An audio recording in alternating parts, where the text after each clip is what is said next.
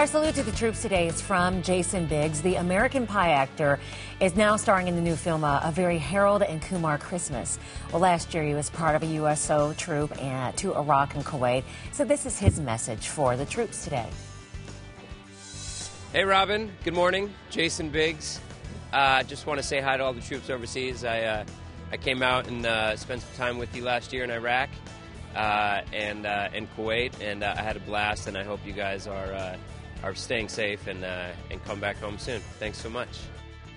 Thank you. And if you have somebody in the service, why don't you salute them? This is how. Just look around at hlntv.com slash Robin.